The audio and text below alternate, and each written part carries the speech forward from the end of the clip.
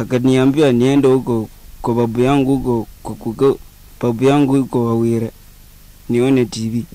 Sasa nilipoenda kurudi saa mbili hapo na nusu, mi nilikuwa tu nimefurahi tu, niko tu kwa njaro zangu, napiga kelele, nikasema ai, leo papa umelala mapema sana, lakini kuchungulia kwa dirisha nikaona tochi ya simu na kuchungulia vizuri, nikaona kamba ime imefungwa juu na yeye amejifunga kwa shingo, na nikaita nikaita sister yangu nipe hii tochi nichungulie vizuri ama amesimama juu. Kuangalia amejinyonga, kuanza kuita mama, kuchungulia tena yeye vizuri, pia yeye amejinyonga. Nilikuwa napambana kufungua mlango lakini kupata kama imefunga walikorofishana asubuhi na akatoka akaenda kukaa huko kwa kazini yake. Nikashinda na babangu jana kutoka asubuhi, nikapika lunch akakula yote. Siku zingine anaachanga, lakini jana alimaliza. Akaniambia ile ugonjwa yenye anagonjekanga amepona, ati yeye sasa ataenda hospitali tena tena, hataki madawa. Tukashinda naye vizuri aka akatengeneza kamba kwa ng'ombe hapo. Mimi sikuwa najua anatengeneza kamba ya nini. Akaenda akaweka kwa nyumba, akaenda huko kwa shoshangu. Ilipofika jioni, nikapika ugali. Alienda huko juu na akarudi akaniambia atakula. Tukakula vizuri na mamangu tukamaliza. Nikachemshia babangu maji moto nikampea, akaanza kunywa. Na mamangu akaniambia nifunge milango yote twende tuone TV mali tunaendanga kila mara. Nikamwambia time haijafika, ilikuwa 7:20. Nikamwambia time haijafika ya kuenda. Nikaenda kwa jikoni. Babangu pia akakuja akaniambia ufunge mlango na kafuli, muende muone TV. Ilikuwa 7:40. Tukatoka na akani, akasimama hapa akaangalia kama naenda.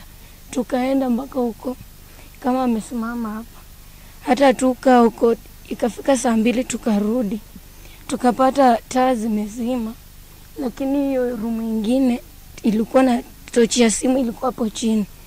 Sasa tukadhani maybe wanalala, mi nikapita mpaka kwa jikoni, lakini bradha yangu alichungulia akaona miguu na akaniita kwa sauti, nikarudi nikaona babangu ako kwa kamba.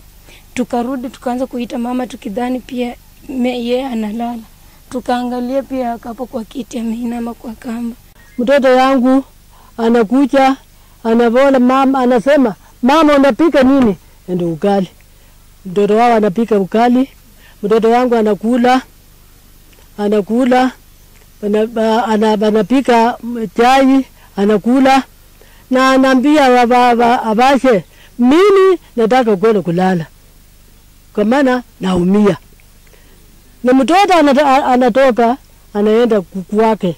Kama anafika huko na mimi niko kwa nyumba, saa mbili nilisikia mtoto wangu anapika simu, anasema mtoto wetu anasema mimi nakwenda.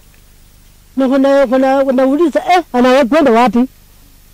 Kutoka nyumba, nyumbani kuja nyumbani na, na, nasikia nduru, mtoto yake analia, papa uimichele Nilisikia nduru nje, watoto wanakimbia na taa, kuangalia watoto wanakimbia na taa, kuuliza nini, wananiambia tumerudi mahali tulikuwa tumeona, tumeenda kuwatch TV, tumekuta mama na papa wamechinyonga kwa nyumba.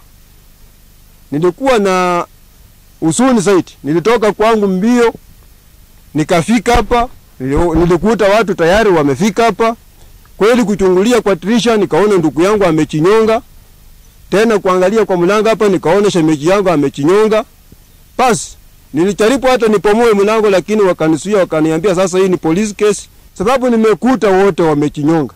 Haku- Hakuna huyu ame, kuna kiti kando ya huyu mama, kuna kiti kando ya huyu papa. Ni kama ndugu yangu alitumia kiti kupanda juu, tena sijui Shamechi kama alitumia kiti kupanda juu, sababu kando ya Shamechi kuna amcha ilikuwa pale, ndugu yangu kuna deboche ya kando na wote wameaka. Sasa tulishinda, hata ukiuliza paka wenye walikuwa ndani, paka hawezi sema sijui ilikuwa nini, kama hata uulize eh, panya. Sasa hiyo Mungu ni anachua tu. Hii simu kuna mahali penye wanafinya watu wakiongea, hiyo mambo inapitia kwake. Sasa bila alikuwa huko au huyu huyu shemeji yangu na huyo mwanaume bila walikuwa wanaongea, Suleiman alikuwa anasikia. Sasa alikuja na akakaa, na ni kama alichukua time baada ya siku mbili kuuliza bibi yake, hii mambo iko hivi, na bibi yake akaanza kupigana akuibingana Baadaye walianza korofani kwa nyumba mpaka Mlamu akafika mahali akakubalia akakubali mbele ya, ya bwana yake, kweli nime nimefanya. Huyo mwanaume huwa anakucha hapa analala hapa, hata pia mimi huwa naenda, huyo mwanaume anafanya hapo hapa kukakunga. hata mimi huwa nafanya na nini, huwa naenda huko. Sasa hiyo kitu kweli, bila brother yetu alituambia, tulijaribu kumu, kumkanza kumkaiti Mlamwa. Sasa yeye amekosa, amekubali mbele ya, ya bwana yake, lakini alikuwa anakaa hapa. Nikamwambia Mlamwa, kitu yenye utafanya utaenda kwenu, huyu wache huyu Solomon ise hii bre- hii bila amepanda hivi juu afanye nini? Apoe kwanza, we ukaenda ukaa nyumbani, bila atapoa ndio wewe utapoa. Hata ukiona kama analeta shida kelele, wewe wewe ukitoka unatoka karibu na yeye, unasonga nyuma kutoka kwake, sababu mimi nimechua hasira ya mwanaume. Bila wewe umekubali tu mbele yake umefanya hii na hii, hata kuwa hata poa haraka.